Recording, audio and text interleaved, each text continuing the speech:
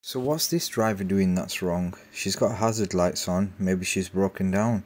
What do you think that she's actually done wrong in this video? So let's go ahead and take a look. Well, she's on the phone. It looks like she's broken down on what looks like to be the verge of a dual carriageway at some point. So the dog gets out as well.